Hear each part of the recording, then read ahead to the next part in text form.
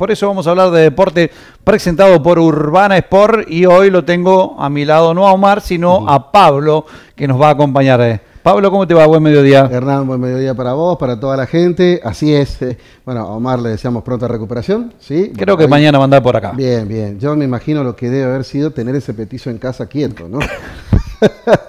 Pero bueno. Peor que los chicos de él. Sí, peor.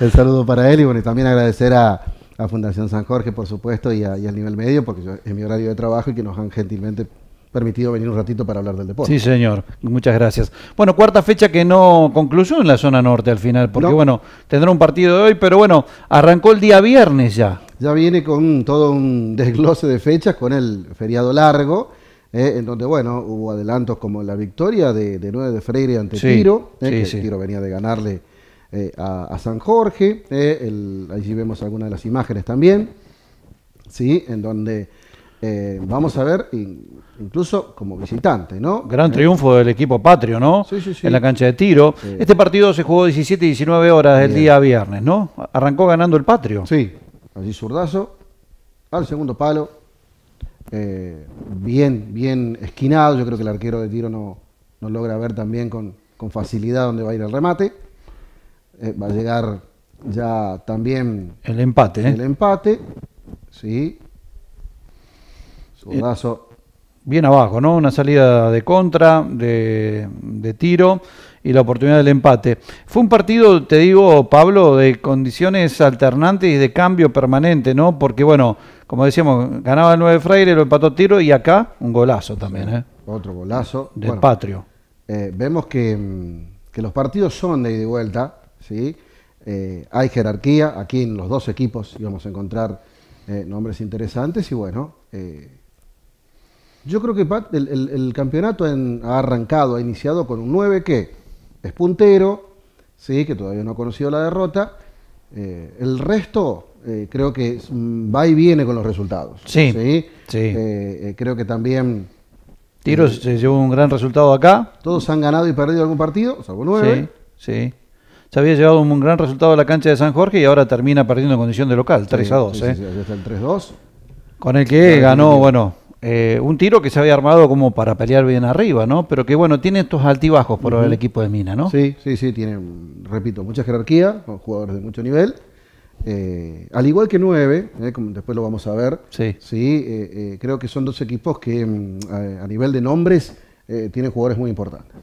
Bueno, y el equipo del Corto Tevez, hablando de Porteña, también que alterna buenas y malas, Sí. recibió al Club Esportivo Soardi, a un equipo que siempre es duro, que pelea y que, bueno, en condición de visitante también eh, sale a buscar los partidos, ¿no? Bueno, Pero bueno, Deportivo fue quien ganó acá centro. por claro, ejemplo. claro. Sí, Pero ganaba, comenzaba ganando con, con gol de Toranzo allí, Sí. eh, Porteña 1 a 0, ¿no? Esta posibilidad que tenía, fíjate vos iba pareado en la marca y finalmente convierte ante la salida del arquero. Para mí ahí falló el arquero en la salida, sí, ¿no? sí, por allí lo, gana rápido, la saca ventaja eh, con velocidad y, y, y Astrada no lo puede retener y después define. Hay una chica ahí del arquero por allí un tanto.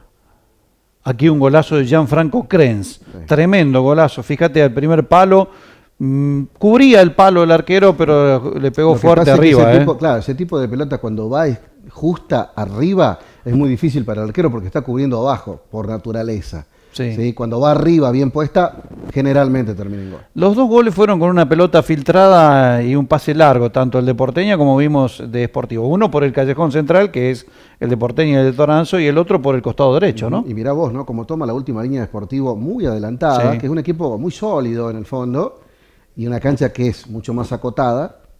Eh, así mismo lo tomó muy adelantado.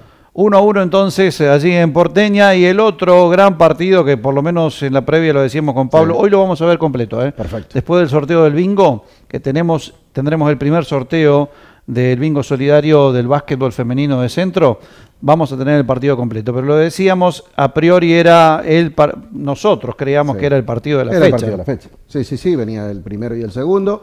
Eh, Centro venía de ganar, eh, nueve también. eh, era linda la expectativa que podíamos tener el domingo por la tarde. Sí. Que fue finalmente el único partido que se jugó el domingo. Se iba a jugar San Jorge visitando a Juniors, pero que también, eh, bueno, tuvo la, la suspensión. ¿sí? Allí Ahí está centro. Cordero, Nelly, Varela, Quinteros, Tevez, Lencina, Vázquez, Reynoso, Copi, Sutrera y Godoy. ¿sí? Alacia, Sánchez, Bricio, Estelcaldo, Peralta, Tello, Martino, los dirigidos por Quevedo. Varia- varios cambios, bueno, variantes, por lo menos como venía jugando Sí, porque, centro, ¿no? Sí, porque bueno, por la expulsión y por dengue incluso, Claro. ya no contó con Machado, que venía siendo el titular. Bueno. Y tampoco contó con, el, eh, con Lastrici, que también con dengue, ¿no? Bueno, recordamos que ahí está nueve entonces, que tenía Torres en la valla, eh, después sigue en Geminiani. este caso Geminiani, ¿no? A ver, dale. Emiliani, Agustín Gaido, Peralta, Ravalo, Marcengo, Cabrera, eh, allí dentro del grupo, ahí viene otra vez, sí, Bach, Mancilla, Volati y Quiroga. En el banco Chávez, Andreo, eh, Galancino, Camperi, Tonús, Baira y Córdoba. Los Bueno. de Gerardo Acuña.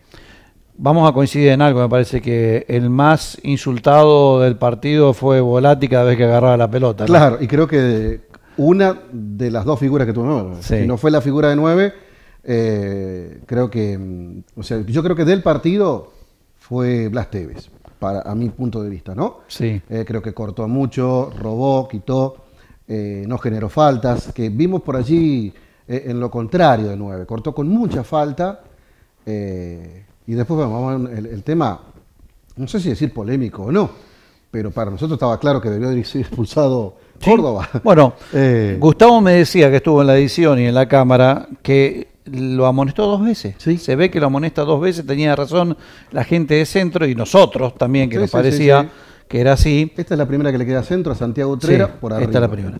Bueno, 9 trató de aprovechar la velocidad y las bandas en- eh, con salidas rápidas.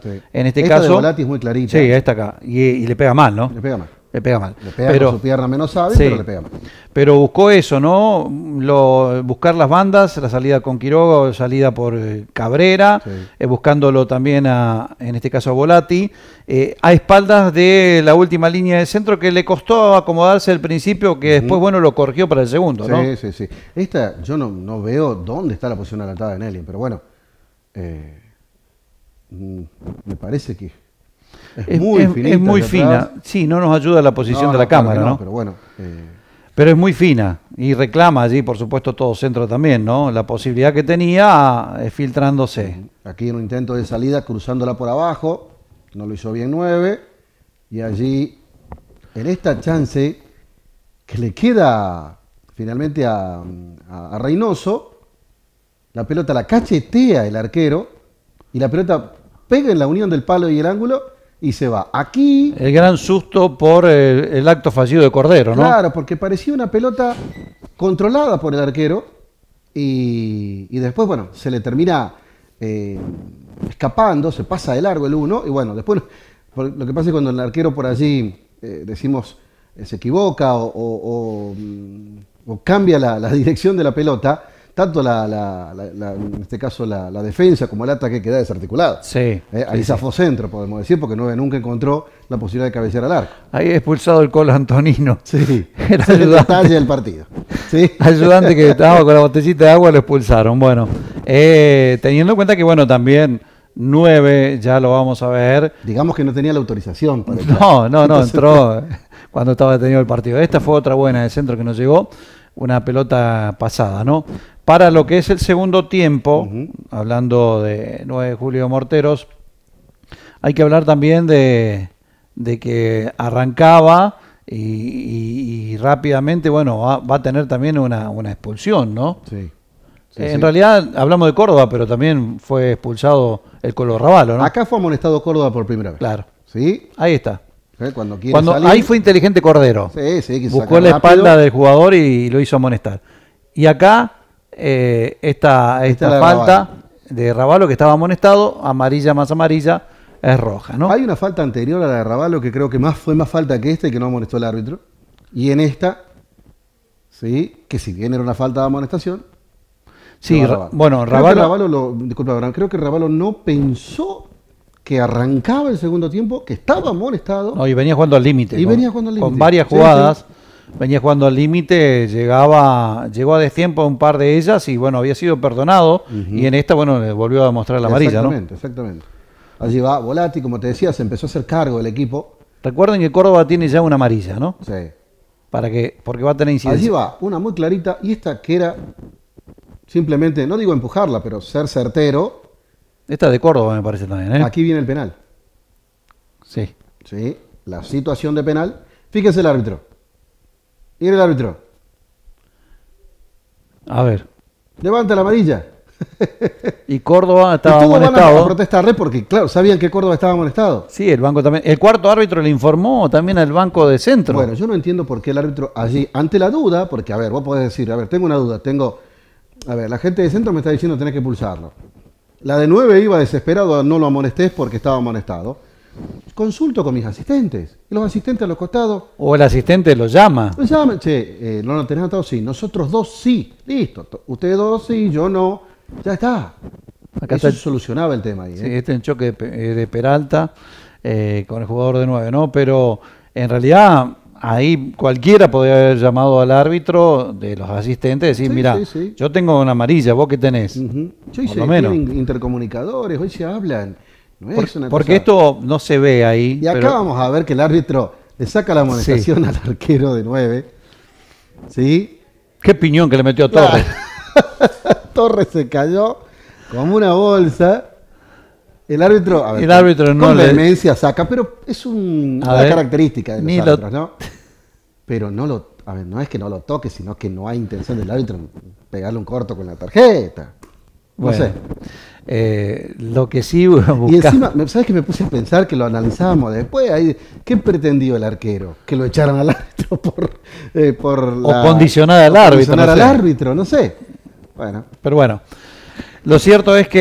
ver un par de minutos en cancha Sí. a la vuelta de que es, Es algo muy importante. saludable futbolísticamente para un centro que a veces está inconexo. Tiene mucha jerarquía. Sabemos que Santiago puede agarrar una Ahora pelota está falto y de- desequilibrar. falto de fútbol ahora. Utrera, ¿no? Claro, eh, con una lesión, eh, con una pretemporada media, con dengue arriba y recuperándose, Santiago eh, ha vuelto a hacer unos minutos. Bueno, eso es lo importante, lo más eh, importante que, que tuvo en este caso Centro. Eh, más allá del empate, creo que le sirvió este punto más a, a 9 como terminó, con uno menos Sí, sí. y jugando, que a Centro, que le queda un sabor agridulce. Pero bueno, lo importante es que empataron. Con estos resultados que se dieron, y bueno, falta un partido. ¿Cuándo Sí. se juega? Sí, la verdad que íbamos preguntando porque el domingo se suspendió. eh, El el, lunes- ayer- el lunes se se suspendió. volvió a suspender, que era lo más posible y factible, eh, que el lunes eh, lloviera o que no es- el clima no ayudara. Bueno, Ayer también se suspendió porque se iba a jugar. Se volvió a suspender, algunas imágenes mostraban que la cancha no estaba en Sí, condiciones. está muy- Bueno, así que entendiendo que esta noche, 20-22 horas, se estará jugando este partido. Junior con San Jorge, que cierra la fecha. La cuarta fecha, recordamos que con estos resultados, Nueve Morteros tiene 10 puntos, el 9 Freire y Centro tienen 7, Tiro tiene 6, Sportivo 5, Junior con un partido menos tiene 3, San Jorge un partido menos tiene 2 y uno para Porteña. ¿eh? La próxima fecha, Sportivo, Tiro van a jugar. 9 Freire con Junior, el gran clásico aquí en Brinkman. San Jorge Centro y 9 Morteros Porteña. Creo que el partido de la fecha será el clásico aquí en Brinkman, ¿no? Sí, sí, sí, señor. Para nosotros totalmente. Sí, sí, yo creo que también. Para nosotros totalmente. Hay una región que también mira de reojo el Y clásico sí, y siempre. sí. digo porque está uno de los escoltas, bueno, San Jorge depende de esta noche. del partido. Yo creo que mm, debería traerse algo de suave. eh, eh, porque creo que la victoria de 9 de Freire lo complica. ¿sí? Eh, Sportivo sigue sumando y lo complica. Creo que San Jorge deberá eh, sumar en Suardi para ver qué pasa con, con las próximas fechas. Bien, gracias Pablo, muy amable. ¿eh? Ustedes, un placer. Vamos con las placas ya en la parte final, nos vamos eh, del programa, como siempre vamos a ir con la información de servicio, tenemos farmacias de turno para ir repasando entonces en esta edición, como lo hacemos habitualmente, arrancamos el mes de abril, con lo cual de entonces